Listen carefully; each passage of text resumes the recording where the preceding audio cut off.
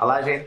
Um, antes de começar o vídeo de hoje, eu quero vos agradecer muito os vossos comentários e mensagens em relação ao vídeo anterior e as vossas partilhas também, foi muito importante para mim. Ainda bem que vocês gostaram. Espero que tenham feito efetivamente o treino que eu gostei.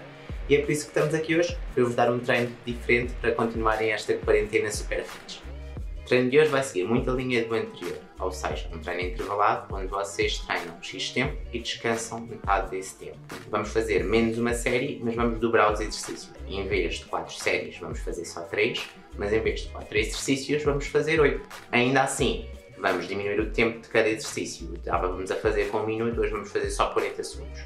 Claro o mais importante é que vamos trocar os exercícios, porque a ideia é que isto continue a ser desafiante para o nosso organismo, podermos perder mais peso e para melhorarmos as nossas capacidades físicas. No último vídeo não fiz nenhum aquecimento, portanto vamos começar por aí. No aquecimento tento não só ativar o cardio e os músculos, mas tento também dar alguma mobilidade ao meu corpo. Começo com 60 jumping jacks. A seguir faço um squat com front kick, no total 16 repetições. A ideia neste exercício não é ser rápido, mas utilizar o core para te dar estabilidade durante todo o movimento. A seguir começo a trabalhar mais mobilidade. Faço uma lunge com rotação do tronco. São 12 repetições, 6 a cada lado. Vamos fazer uma prancha e fazer mountain climbers com rotação do tronco.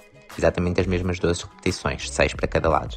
Neste exercício é importante que o teu olhar e o teu tronco rodem em conformidade com o braço que levanta.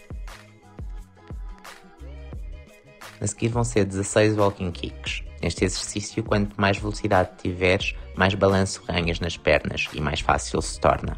A ideia é chutar as pernas alternadamente e tocar com o pé na mão do braço oposto. Isto é, pé esquerdo, mão direita, pé direito, mão esquerda. Vamos rodar os braços para a frente, para trás e terminar com a rotação do pulso. Agora que estamos quentes, não há lesões que nos parem. Vamos começar com o squat. Se fizeste o último treino, acredito perfeitamente que estás pronto para mudar de nível. Agarras um peso à frente do peito e bora lá. O chão é o limite. Como vês, foram só 40 segundos e já chegamos à pausa. Bora lá, deita-te no chão. Vamos começar a partir da posição da prancha. Leva o braço direito em direção ao teto e acompanha o movimento com o tronco. Baixas e agora fazes para o outro lado.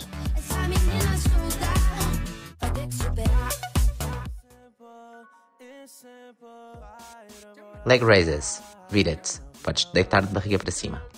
Estica as pernas, não toques com os pés no chão e agora é só levantar as perninhas para cima. A sola dos pés aponta para o teto e só paras quando as tuas pernas fizerem um ângulo de 90 graus com o teu tronco. Quando chegares a esta posição, podes começar a baixar, lentamente, e voltas a subir, no momento imediatamente antes dos teus pés tocarem no chão.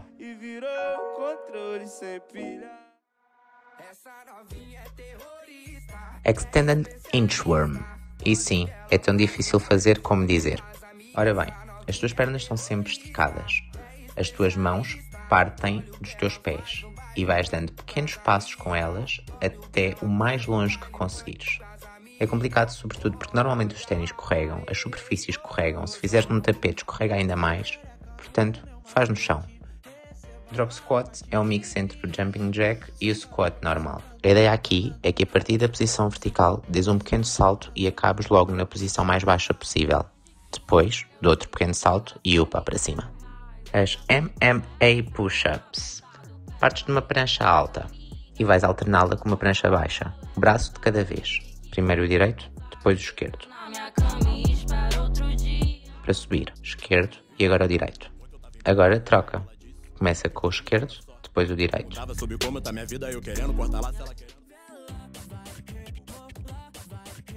O truque no limpa-para-brisas é manter as omoplatas apoiadas no chão.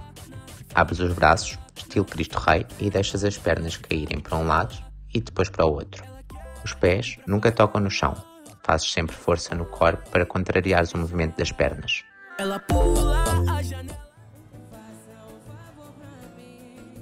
Último exercício, low plank side steps. É quase como se estivéssemos a dançar, mas na posição de prancha. Ora, pé direito para fora, pé esquerdo para fora, pé direito para dentro, pé esquerdo para dentro. E agora alterna. Pé esquerdo para fora, pé direito para fora, pé esquerdo para dentro, pé direito para dentro. Cansado? Hum, espero que não, porque esta foi só a primeira série e ainda te faltam duas. Lembra-te, 40 segundos de trabalho, 20 de intervalo. E desafia-te, dá o teu máximo durante esses 40 segundos.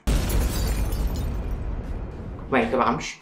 Uh, depois diz-me o que é que achaste. Este acaba por ser, para mim, mais fácil do que o outro. Temos mais exercícios, tudo bem, mas como é menos tempo, não é tanta intensidade junta num só momento e acabas por descansar mais ao longo dos exercícios todos. Fica bem e bons treinos!